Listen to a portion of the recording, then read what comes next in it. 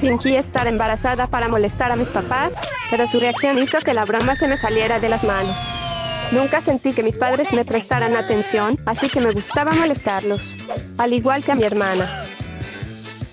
No me lo decían, pero sabía que Erika era la favorita, y yo solo era la hija no planeada. Ella era hermosa y muy popular en la escuela, mientras que yo solo era un adolescente común. Un día, encontré un misterioso paquete fuera de mi casa. No podía leer quién lo había enviado o para quién era, la lluvia había borrado las letras, así que decidí abrirlo y, ¿qué? ¿Una panza falsa de embarazada? No tenía idea de quién pediría algo así, era extraño, pero era una buena oportunidad para molestar a mis papás.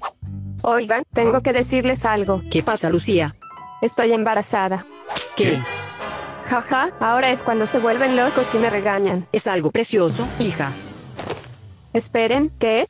Mis padres brincaron de emoción por toda la casa, no dejaban de expresar su alegría. Mi niña, este momento es tan hermoso, no les va a faltar nada. Pero qué chicados, ¿no están enojados conmigo?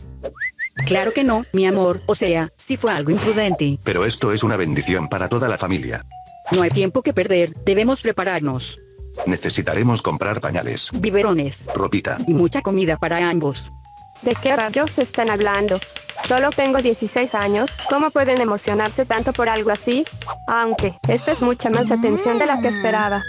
Mamá, papá, ¿qué está pasando?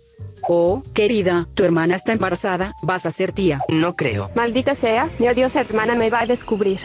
¿Cuántos meses llevas? ¿Por qué no habíamos notado esa panzota antes? ¿Y cómo es que... Todas esas preguntas arruinarán todo, tengo que pensar en algo. Tantas preguntas me están mareando. Cállate, Erika. Tu hermana no debe estar bajo ningún tipo de estrés. Mis padres de verdad comenzaron a tratarme como si fuera la persona más valiosa del mundo. Con que esta es la atención y cariño que tanto había buscado. Tal vez pueda seguir con esta broma solo un poco más. No sabía por cuánto tiempo seguirá mintiendo, pero definitivamente aprovecharía la atención y los tratos especiales. Lucía, lo he pensado mucho, y creo que deberíamos terminar. ¿Qué? ¿Tan repentinamente? No puede ser, pero entonces recordé, no serías capaz de abandonarnos a tu bebé y a mi verdad. ¿Qué? Pero si nunca hemos. Rayos, no había pensado en eso. ¿Recuerdas la fiesta de tu amigo? Te desmayaste de tanto tomar y jugar. Sí, pero no recuerdo nada. Entonces fue ese día, jeje, adiós. Aquí está el resultado de sus exámenes de ayer. Terribles respuestas, señorita.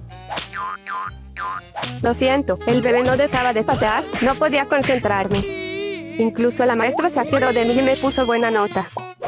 Mi suerte de verdad comenzaba a cambiar. Caminé de regreso a casa como de costumbre, pero las desventajas del embarazo se empezaban a notar. Estaba tan cansada por el peso que tuve que sentarme varias veces, era horrible. Lucía, Oh, hola señor David y señora Cintia.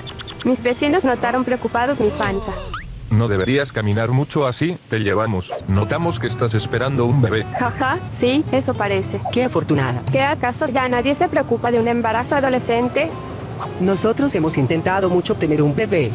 Pero el doctor nos dijo que no sería posible. Pobrecitos, ojalá puedan tener un hijo algún día. Llegué a casa y mis padres me sorprendieron con más regalos para el bebé. Todo lo mejor para nuestro futuro nieto. Sí, claro, ni siquiera han ido al doctor. Cállate, Erika. Pero es verdad, debemos visitar al doctor. Demonios, mis mentiras serían descubiertas y ya no tenía salida. Doctor, no me siento bien, estoy nerviosa. No se preocupe, señorita. Si gusta, sus padres pueden esperar afuera. Recuéstate, por favor. Doctor, debo confesarle algo. Me quité la panza falsa y confesé todo.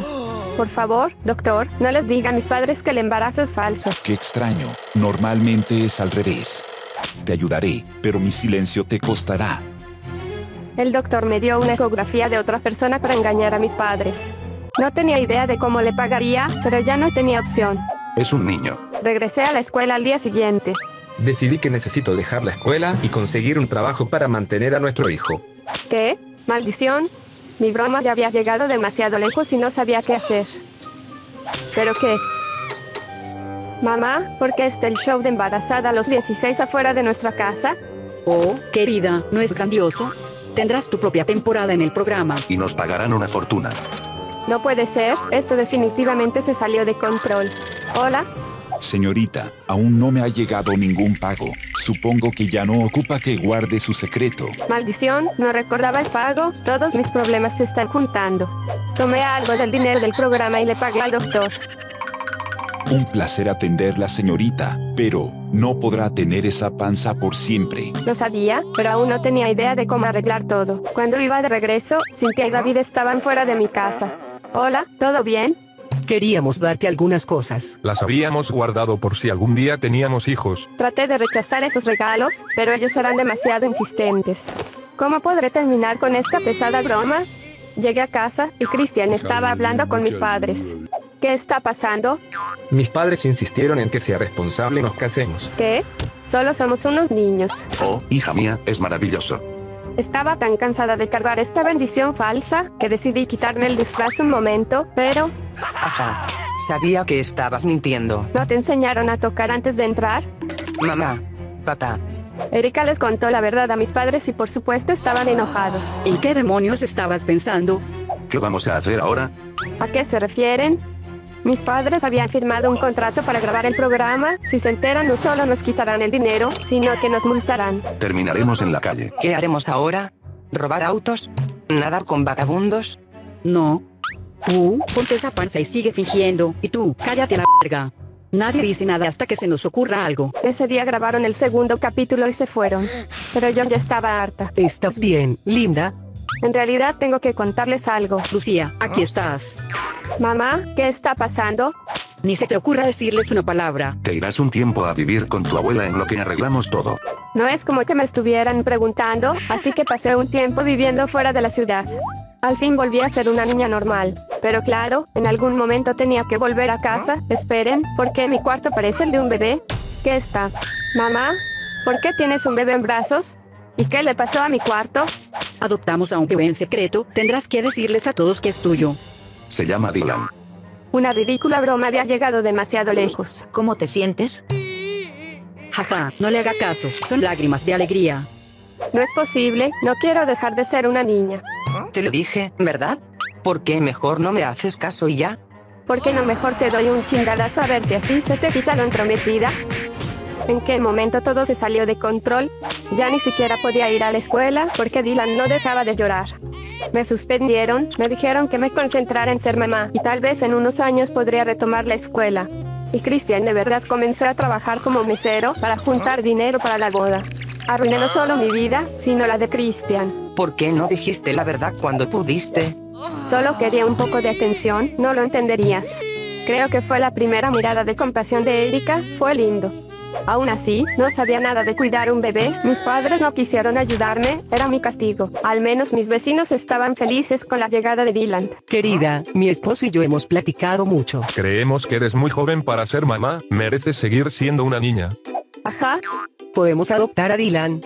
no podía creer lo que me estaban diciendo. De verdad era mi oportunidad para recuperar mi vida. Les preguntaré a mis padres. Fui inmediatamente a preguntar. Pues, el contrato no lo prohíbe. Y podemos conservar todo el dinero. Llamé emocionada a mis vecinos para darles la gran noticia. Diga. Felicidades, pronto serán padres. Grabaron el último capítulo del show y anunciamos que una familia amorosa adoptaría a Dylan. No podía contener la emoción. Llamé a Cristian y estaba muy decepcionado por mi decisión. Pero al menos así pudo regresar a la escuela. Por supuesto cancelamos la boda y terminamos. Arreglamos los papeles de adopción. Solo faltaba que mis vecinos vinieran a firmar. Cuando de pronto... Cintia, David. ¿Cómo estás? Lo logramos. Estoy embarazada. Ya no necesitaremos adoptar a Dylan. Mierda. ¿Y ahora qué voy a hacer? Este bebé ni siquiera es mío.